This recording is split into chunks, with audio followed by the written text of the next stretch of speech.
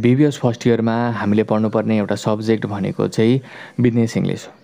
योभन्दा प्रिभियस एक्जामको कुरा गर्ने हो भने योभन्दा previous exam two thousand seventy seven seventy एटको एक्जामको रिजल्टलाई हेर्ने हो भने एराउन्ड फिफ्टी पर्सेन्ट विद्यार्थीहरू मात्र बिजनेस इङ्ग्लिस सब्जेक्टमा फेल भएका छन्। यानि जतिजनाले एक्जाम दिएका छन् लगभग आधी जसो विद्यार्थीहरू चाहिँ बिजनेस इङ्ग्लिस भन्ने सब्जेक्टमा चाहिँ फेल भएका छन्।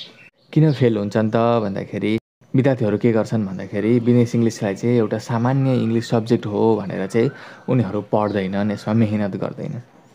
तर यसमा चाहिँ हामीले एक्जाम आउनुभन्दा सातदेखि दस दिन अगाडिदेखि नै यो बुकलाई चाहिँ रिभाइज गर्दै हामीले जानुपर्ने हुन्छ। विद्यार्थीहरू यो सब्जेक्टलाई भने घोकेर रटेर जाने प्रयास गर्छ।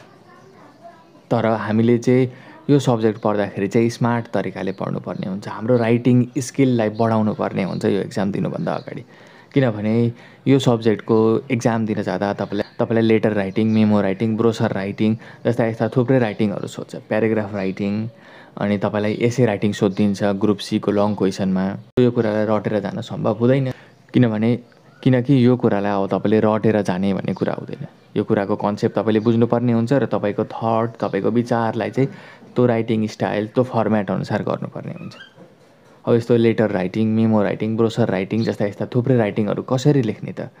त्यो कुरा थाहा छैन भने मैले तपाईँहरूलाई मुनि डिस्क्रिप्सन अथवा कमेन्ट बक्समा ती सबै कुराहरूको लिङ्क राखिदिएको हुन्छु। त्यहाँ धापेर तपाईँ ती भिडियोहरू हेरेर आफ्नो राइटिङ स्किललाई बढाउन सक्नुहुन्छ।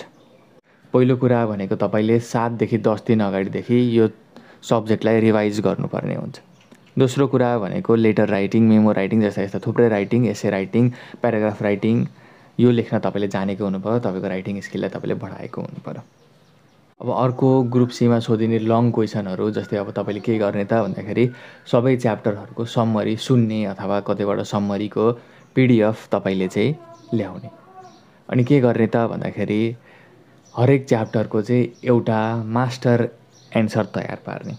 कसरी तयार पार्ने त भन्दाखेरि सम्मरी है त्यसको थिम त्यो च्याप्टरले भन्न खोजेको कुरा के हो त्यो राइटरले भन्न खोजेको त्यो च्याप्टरमा के कुरा हो?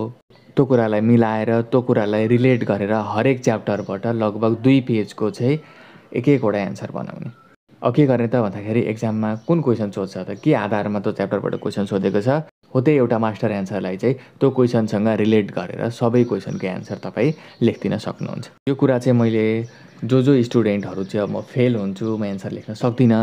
जस्तो लाग्छ हो तिनीहरूको लागि चाहिँ दिएको एउटा टिप्स हो। के गर्ने त भन्दाखेरि हरेक च्याप्टरबाट चाहिँ तपाईँले सम्मरी त्यसको main theme main idea main point राइटरले त्यहाँ भन्न खोजेको कुरा के हो हो तिनीहरू सबै कुरालाई तपाईँले मिलाएर एउटा दुईदेखि साढे दुई पेजसम्मको एन्सर बनाउने र तपाईँलाई एक्जाममा कस्तो क्वेसन सोध्छ त त्यो च्याप्टरबाट। हो त्यही एन्सर त्यही एउटा मास्टर एन्सरलाई चाहिँ तपाईँले के गर्ने त त्यही क्वेसनसँग रिलेट गरेर एन्सर दिने तपाईँलाई त्यहाँबाट मार्क्स आइहाल्छ।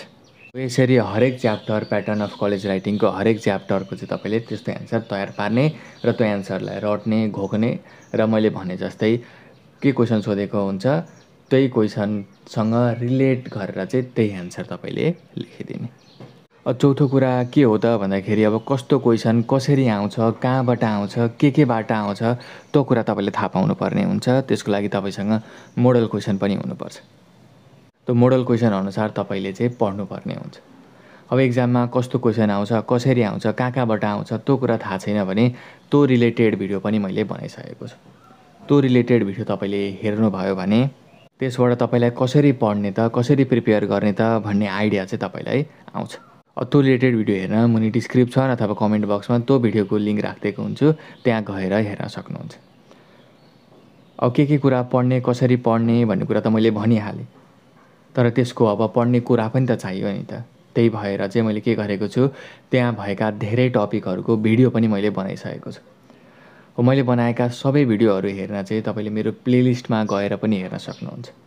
मैले प्लेलिस्टमा बिजनेस इङ्ग्लिस भनेर सेपरेट एउटा प्लेलिस्टै राखिदिएको छु। त्यो प्लेलिस्टमा तपाईँ मैले बनाएका सम्मरीका ग्रामर रिलेटेड भिडियोहरू सबै हेर्न पनि सक्नुहुन्छ। अथवा प्लेलिस्टमा तपाईँलाई जान आउँदैन भने मुनि डिस्क्रिप्सन अथवा कमेन्ट बक्समा मैले एउटा लिङ्क राखिदिएको हुन्छु। त्यो लिङ्कमा तपाईँ दाबेर पनि मैले बनाएका सबै भिडियोहरू हेर्न सक्नुहुन्छ। जुन तपाईँको एक्जामको लागि निकै नै हेल्पफुल हुनेछ। र साथसाथै मैले ग्रामरसँग रिलेटेड सम्मरीसँग रिलेटेड मैले भेटाएका पिडिएफ नोटहरू पनि त्यहाँ राखिदिएको छु। त्यो पिडिएफको नोट पनि तपाईँ त्यहाँबाट डाउनलोड गर्न सक्नुहुन्छ।